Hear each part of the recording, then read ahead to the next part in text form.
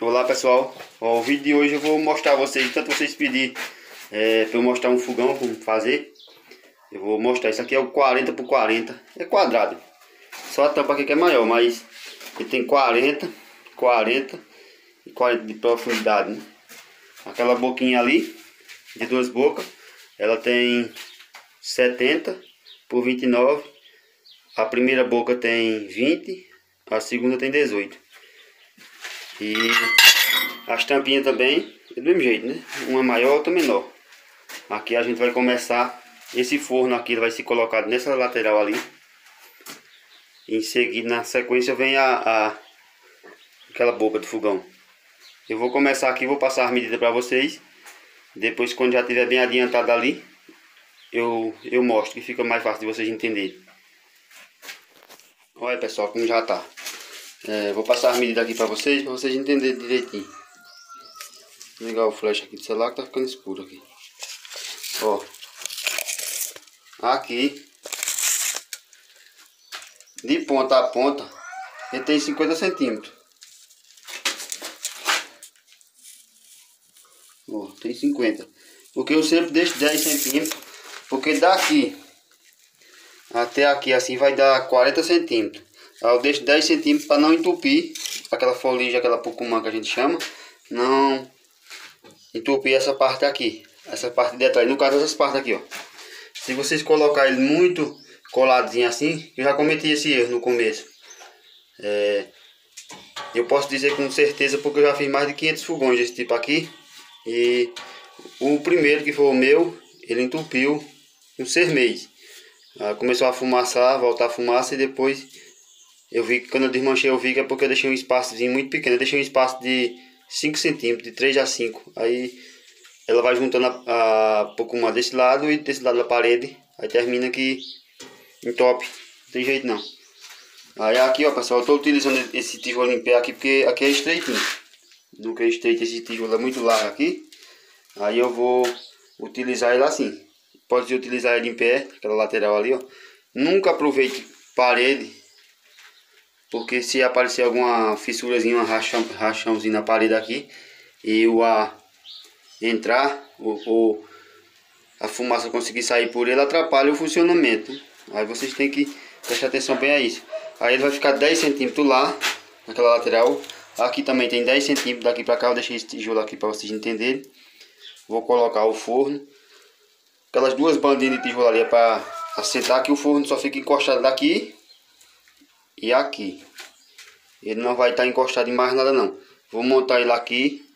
Depois eu já volto mostrando a vocês como ficou. Como tá ficando, né, no caso. Com ele sentado no canto. Olha aí, pessoal. Ele já tá bem encaminhado aqui, ó. É, vou mostrar aqui o espaço a vocês. Esse espaço aqui, ele tem em média de 10, 10 a... Deixa eu ligar o flash, tá escuro. Ó, aqui, ó. Tem de 10 a 12 centímetros, não importa não a largura não. Vou fazer uma limpeza aqui, ó, já tem massa que caiu aqui embaixo. Tô mostrando a vocês do jeito que tá feito, sendo feito mesmo. Aqui atrás também, ó, mesmo espaço também, 10 centímetros. Aqui na frente não precisa ser tanto, o espaço pode ser menor. Uma que eu tô aproveitando o espaço aqui para não não ficar muito curtinha a mesa. Depois que a gente limpar fica melhor de ver. É, não ficar muito curto. Não encoste nem na parede ali. Aqui, aqui em cima também vai ficar na, numa média de 8 a 10 centímetros. De, aqui ainda tem a massa, vai ficar com 10 centímetros de altura. Essa parte aqui de cima. Aqui eu corto o tijolo pela metade para ficar mais, como é que se diz, mais área com de ferro para esquentar. Aqui embaixo, essa paredezinha aqui ela fica da mesma altura do forno. Dá para vocês terem, ver aqui direitinho, ó. Fica da mesma altura do forno. A boca dele aqui eu tirei a tampa porque é de é com as jobadechazinhas. Aí eu desmontei, tá ali, ó. Depois eu boto. Agora, aqui agora vem uns pedacinhos de ferro passando ó, por cima. Fazer só o escoramento aqui, ó. De ferro até no final. Ainda vem o resisto. Que é, é o resiste é simplesmente essa parte, essa chapinha de ferro aqui, ó. A enferrujada que levou, molhou, ó. Aqui o, o, o, o fogo é desviado para sair. Voltando a, a, ao vídeo, aqui em cima coloquei os ferrinhos, só uma camadazinha de ferro. Vocês já tinham visto essa, essa parte aqui, né? E essa parte do... Onde os ferrinhos ficam em cima, ó, aqui as pontinhas deles aqui. Hum. Dá pra você ver as pontinhas dos ferros aqui. Ela vai aqui do outro lado. Aí em cima eu só boto os tijolos Boto logo esse resistinho aqui, quiser um resistinho, eu boto lá aqui, mas ainda vai ter um, vai um estaquinho de cerâmica para deslizar, que é para o fogo sair exatamente no centro. O fogo vai sair exatamente no centro dele. Porque eu vou botar aqui embaixo para você ver, ele é a metade. Hum. É exatamente a metade. Aí, aqui mais ou menos é o tijolo, né? Esse espacinho aqui é do tijolo, que vai ter um pedacinho aqui. Mais ou menos aqui, ó. Aí, aí, depois desse pedaço de, de, de tijolo, fica so, sobrando esse espaço aqui, ó. Que vai passar a fumaça. Quando você, abre, quando você abre essa passagem aqui, a fumaça sobe. Isso aqui é para um melhor aproveitamento do calor. Sem ele, funciona também. Só que o fogo vai consumir um pouquinho mais de lenha. E demora um pouco mais aquecer a vez o, o, as, as bocas aqui na frente. O forno não, o forno aquece rápido porque o fogo passa por dentro, circulando para redor dele ele aquece mais rápido. Agora as, as boquinhas das panelas ali demora um pouco mais.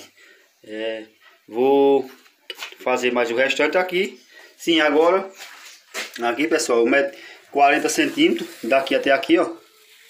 Vai vir mais ou menos até aqui. Mede mais 40 para cá, ó.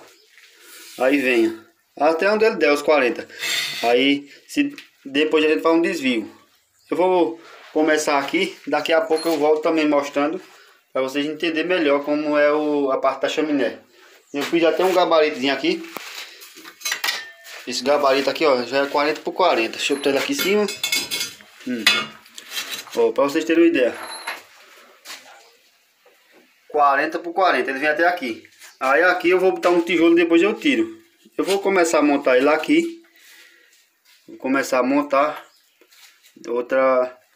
Daqui a pouco a gente retorna mostrando como ficou a parte da chaminé. Olha, mas vista de cima a imagem aqui, ó. Vocês estão vendo? Não vai ficar assim não. Esse bloco aqui, ele vai sair. Vai ficar só aqueles cinco. É porque eu só tiro ele por último aqui. Quando eu já tiver com a chaminé feita. Esse espaço interno aqui tem 20 por 20. Tem 20 centímetros quadrados. Aí utiliza esses seis blocos. Tanto faz o lado dele, vai dar a mesma coisa. Vai dar entre 38 e 40 centímetros. Aí eu vou subir a chaminé até em cima. Daqui a pouco eu retorno quando eu vou fazer, quando for fazer, mostrar o restante e fazer o desvio aqui. Olha pessoal, já terminei aqui em cima. Agora vamos finalizar lá dentro. Eu termino lá, lá dentro por último. Não é o primeiro não. Aqui tem uma, duas, três, quatro, cinco, seis fiadas. Tem um metro e, um metro e vinte de, de altura aqui. Fora da, em cima da casa, né? Aí, ó. Sempre tampa esses buraquinhos na lateral, porque se ficar entrando ar, atrapalha também. Só esses aí de cima que eu, eu deixei. Eu deixo, isso aqui não é, é só para saída de fumaça, de um lado e de outro aqui, ó. Eu boto quatro tijolos, quatro bloquinhos, dois de um lado e dois do outro. E pronto. Aí chumbateio, ó, direitinho, o cimento. Se for dessa teia, da outra teia convencional mesmo, você pode botar uma calhazinha, se for o caso. E se pegar desse jeito aqui, você é chumbar também. Não tem problema não. É, vou descer lá pra baixo. E vou mostrar a vocês. Quando eu, daqui a pouco eu acendo ele também. A gente já mostra também junto. Olha aqui pessoal, eu tirei aquele tijolo que tava aqui, ó. Que eu disse a vocês que eu ia tirar. Pode tirar ele mole mesmo, ainda tá mole aqui. É, ele fica amarrado depois que, que você bota os outros pra cima. Ele trava. Agora se você for tentar botar sem ele, não consegue não. Aí aqui já coloquei, ó. Eu coloco, coloco um, dois pedacinhos de cerâmica embaixo. Vou mostrar aqui, ó. Dois pedaços de cerâmica embaixo. Com 8 centímetros. Aí dois pedacinhos com 5 centímetros. Mas pode ser mais estreito. Pode ser mais estreito tanto um como o outro. Porque eu gosto de cortar esse tamanho que é o tamanho que a cerâmica dá. Aí eu boto esse retalhozinho aqui, ó. Aí aqui tá pronto essa, essa parte aqui. Bota esse outro taco de cerâmica em cima só pra botar o tijolo. Eu deixo esse buraco aqui pra tampar por último. Porque dá pra você fazer uma limpeza, tirar alguma coisa aqui, ó. Aí, agora é só fazer um desvio. O desvio que eu falo é preencher isso aqui com tijolo, ó. Deixando sempre essa, essa parte aqui, ó. Que eu resisto. Deixando essa parte aqui aberta. Bota o tijolo até aqui. No caso, até aqui assim, ó. E deixa sempre isso aqui livre. Aí até aqui, tá aqui fecha. Bota o tijolo aqui, ó. Por exemplo, deixa eu pegar um tijolo aqui.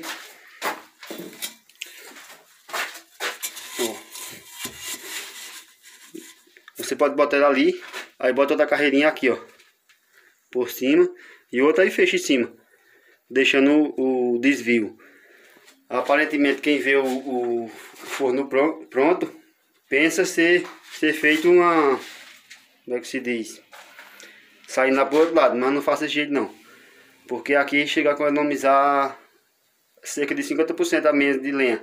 Vai ter outro, outro detalhezinho no final aqui que eu ainda vou mostrar também que é para economizar mais um pouco de lenha. Vamos pro vídeo, mais para frente no vídeo que eu vou, eu mostrar a vocês. Para não ficar um vídeo muito longo, né? Olha, eu já coloquei a carreira de bloco por aqui, ó. Eu vou subir aqui em cima para mostrar a vocês de cima como é que fica, né? Fica melhor de ver.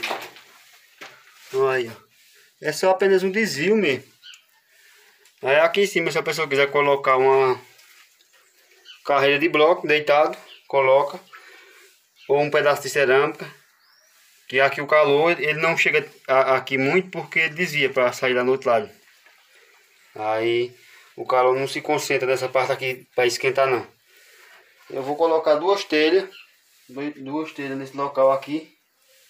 E daqui a pouco já volto com ele, essa parte aqui de cima finalizada. E a boca e vou mostrar outro detalhezinho a vocês.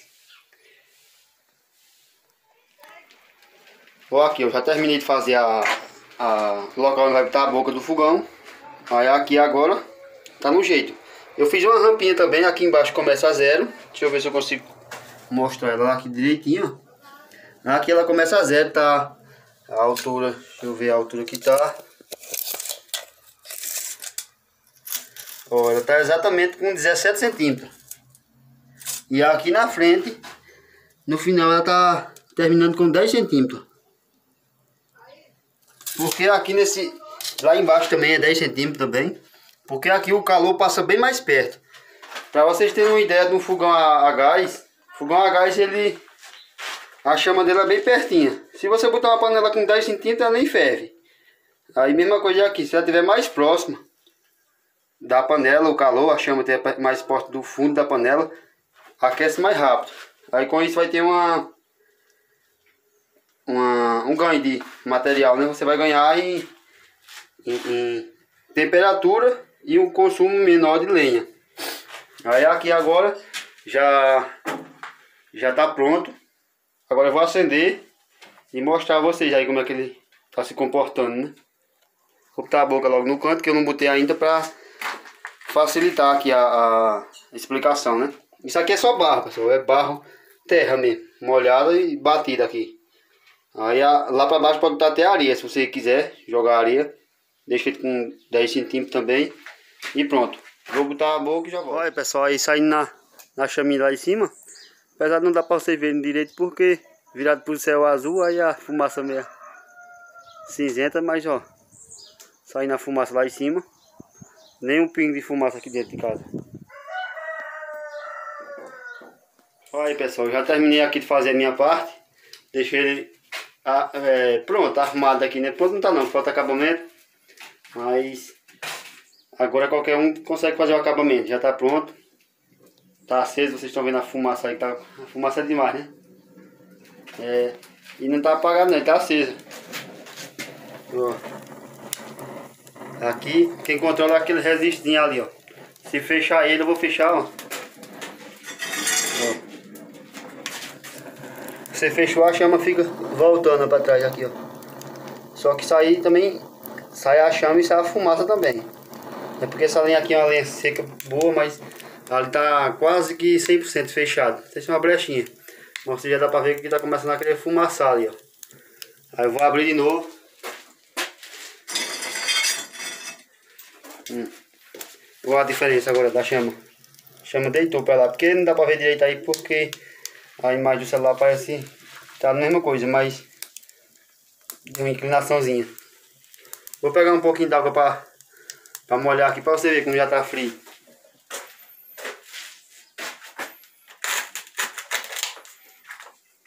Ó, não geladinho aqui. Derramar um pouquinho d'água. Mas não vou fazer isso no fogão de vocês com aquelas bocas de, de fogão de ferro fundido não, que vocês já arrebentam com ela. Aqui também, aqui dentro já tá, não tá quente igual a, ali não, porque lá é mais diferente. Mas já tá, já tá começando a subir o vapor aqui, ó. Que é pouquinho além tá molhada essa, mas esquentou a água. Pode queimar a mão. E tá quente por igual aqui. A gente acabou de fazer, já tá Tá molhado ainda. Molhado não. Molha a massa, né? Mas já tá funcionando. Você vê com bem pouquinha lenha. A rampinha ali faz o, o, o que é pra fazer mesmo. Vocês viram que eu joguei um pouquinho de água em cima. Já, já fez o, uma mudança de temperatura. Já esquentou bem a chapa, né? Olha como ficou. Mostrando aqui o, o detalhe aí da, a fabricação. Vou olhar aqui para não levar uma queda também, senão dá uma vida cacetada, né? Vai, ó.